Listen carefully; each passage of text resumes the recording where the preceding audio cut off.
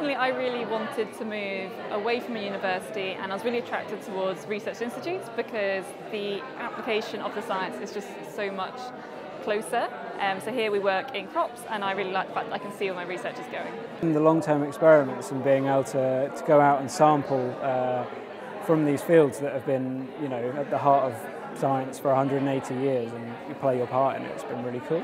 Rothamsted is uh, one of uh, the world leading institutes for agriculture. Because it's a world leading institute, this brings a lot of people here and I found that very good for networking and meeting people from all around the world. Mainly I chose Rothamsted because it was a dedicated research institution for agriculture.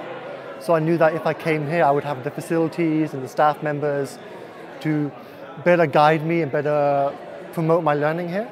I think community is a big one. So we have the PATH, which is uh, open every Friday. All the PhD students and the people that work here come together and we just have a few drinks and everyone socialises. It's really chilled and it's just a great opportunity to, uh, to hang out and meet new people and everyone seems to know each other. It's a good size um, at Rothamsted. So.